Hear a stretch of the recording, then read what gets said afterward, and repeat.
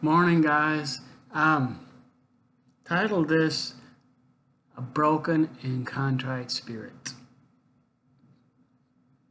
I'm going to make this one brief. I, it's still an evolving message, but the Lord's telling me about how He's in the brokenness.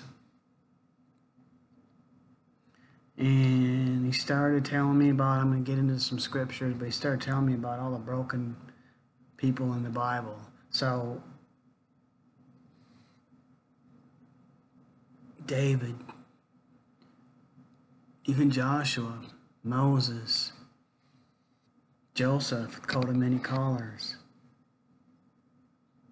Samson, Esther, what just got guys, men and women, Paul, Peter. You know, you all know the many stories, but know, I'm gonna dive into the scriptures and then I'll tell you kind of a few things the Lord showed showed me about this. I'm gonna try to keep this under five minutes because I just kind of want to get it out there right now, give you the scriptures to just kind of digest, and then, you know, you guys interpret, digest it, whatever the Lord tells you to do with it. Matthew 21 42. Jesus said unto them, Have you never read the scriptures? The stone which the builders rejected has become the chief cornerstone. That was the Lord's doing, and is marvelous in our eyes. Therefore I say unto you, the kingdom of God will be taken from you and given to a nation bearing the fruits of it. And whosoever falls on this stone will be broken. Out of whom, uh, but on whomever it falls, it will grind him to powder. Psalms 34:18 The Lord is near to those have a, who have a broken heart and, a, and such as have a contrite spirit. Psalms 51 17. The sacrifices of God are a broken spirit, a broken and contrite heart. These, O God, will you not despise. Isaiah, for thus saith the high and lofty one who inhabits eternity, whose name is holy. I dwell in the high and holy place, with whom with who has a contrite and humble spirit, to revive the spirit of the humble and to revive the heart of the contrite. This one I'm just going to kind of quote too. One of my, one of my favorite scriptures, but Second Chronicles 7:14. If my people who are called by my name will humble themselves and pray and turn from their wicked ways, then I'll heal the land. So God's dealing with the brokenness, and that's just kind of where, where I'm at with this you know, it's, it's scriptural. I'm going to put a maybe a longer message out on it, but right now this is just going to be kind of short and brief, and here's the scriptures. Um, but what he was dealing with me about was, like I said, all the different brokenness and how he moved in that. And he was telling me all these different, you know, prophets and apostles, the 12 that he picked, 11 that he picked, however you want to put it, Mary, the mother of Jesus, knew who he was in the spirit, but yet she had that, to, in the natural, she had to watch her son brutally murdered.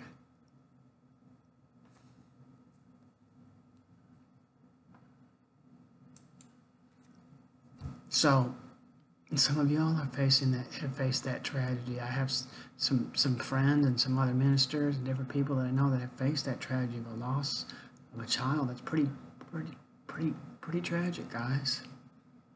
Pretty broken. Scale of one to ten, it's probably five thousand. It's very very deep hurt. Then he took me to all the different ones, but David was one. You know, with the death of his son that he had with Bathsheba, after he murdered her husband, after all the sin that was involved, after all the messiness that was involved, honestly, guys, he kind of thought he got away with it with the repentance piece, but then he was in, what was it, seven days? Sackcloth and ashes, six or seven days? Then he came out. Absalom, the son, death of his son. But he was dealing with me about all that, and then at the end, he said, Even my own son was broken. on the cross. When we take the marriage, when we take the communion, you know, with the brokenness of his body, and, you know, the brutality of his death, and but it's the brokenness of the spirit. Because Jesus knew the end was going to be that he was going to take back the keys to death, hell, and the grave. There was a purpose unto it, guys. There's a purpose unto this brokenness and this suffering. It's all for a greater good. It's all for his plan. Doesn't seem like it at all. It hurts. I got some stuff going on now, right now, especially in the health area. And it's like, but I've seen some miraculous healings in parts of it. Parts of it I haven't, but that's a whole other story. But so another message too. But you know, he's dealing with me about all these different people, David, but and then his own son. So comment on it, study on it, give me some input on it, guys. I'm, I'm, i want to hear from you guys.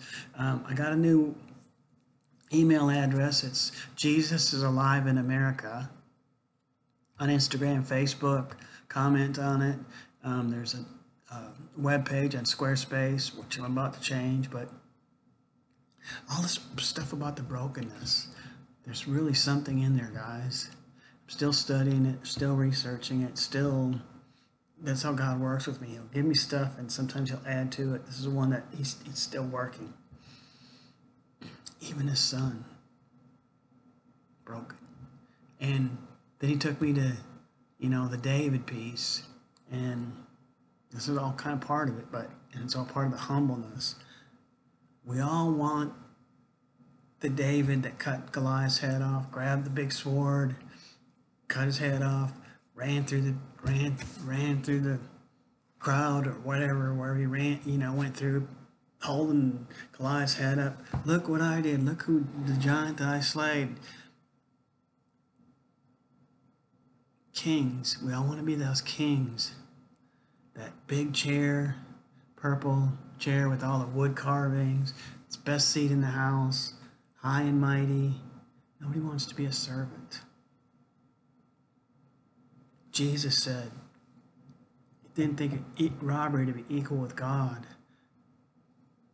but took on the form of a servant even unto death. Dying on the cross, guys, did you ever hear him spit out the words, Hey, do you know who I am? He knew who he was. He was there before we even created the foundation of the world, guys, but humbled himself, became a servant. Everybody wants to be the king. Nobody wants to be the servant. There's no glory in it. For us, we all want the glorious spot, the highlight, the Hollywood Christianity. Roll out the red carpet. Look who I am this is kind of crazy, but even that song, you know, how great thou art. Well, a lot of people want that sung to them. They don't, not really. It's a great song, but man, it's that pride, guys. That's why I said, humble yourselves. Broken and contrite spirit. Not easy to do, guys. I'm not, I'm not that's not what I'm saying. Except the corn of wheat fall on the ground and die. That was the other part of it. But anyhow, I'm going to kind of, you know, re reevaluate this message and a little bit deeper, but I want to throw a couple things out there, guys. Um, look at the YouTube, the video on Feed My Sheep. I really need Bibles because the Lord has really been impressing that upon my heart to get the word out. The prisoners, the homeless, and the women considering abortion, the broken. That's just where He's got me and my wife at yeah, it, it sounds cool and noble and all that other kind of stuff. That's just, I call them mantles. That's just the mantle he gave me and my wife. Everybody has them, so no pressure, no stress.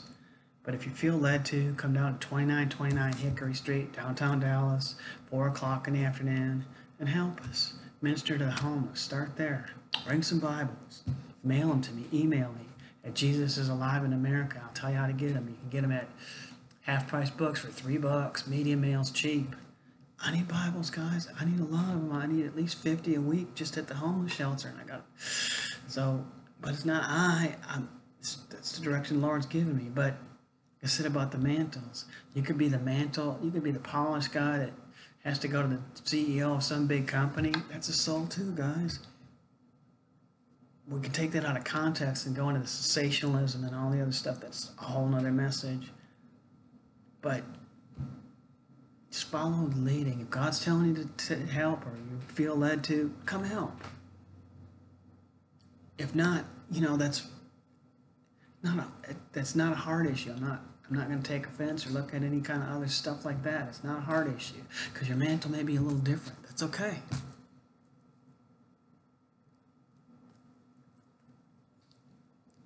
Then the other thing that I really need, my Facebook, I had three Facebook pages. They kind of all blew up. I'm trying to clean that up. I need some IT help, guys, badly. So if you're in that area, if you're in Dallas, or if you feel led to help, come help me. I need, there's some things that I'm trying to clean up, websites, different things, and I don't even know where to begin. That's not my mantle. I'm kind of illiterate in that area, guys. I really need some help. I need some help with the Bibles, feed my sheep. I need some help in the. I was like praying about it. So I'm just putting it out there, guys. I really could use some IT help. Come down, spend a couple hours with me. I could probably knock it all out in less than a day, honestly. I just really need some help cleaning some of this stuff up because it's very messy. So let's look at them and see, or give me ideas or whatever. But comment, send me back stuff. Um, love you guys. Uh, talk to you soon. Please share these with others if anything touches you. Um, and also the books, especially the Jesus is Alive, Jesus, Christ in You, the Hope of Glory. I just revised it, cleaned it up some, still working on cleaning up more. If get it on Amazon, Kindle, um, if the price is a problem, email me, I'll send you a copy. So, love you guys. Talk to y'all real soon. Please share some of these, anything that you like. Um, last thing, this is to one of my Facebook friends on there. I just haven't got to it yet. One of the, some really cool, the Facebook blew up. Got 250 requests. Answered a couple all over the world. I'm like, man, God, I don't a little overwhelmed with that, guys. But one of there's many of them, but one of the cool ministries, and I haven't got to it yet, is if my people who are called by my name. There's like a, I don't know if it's a website. It's it's like a prayer group.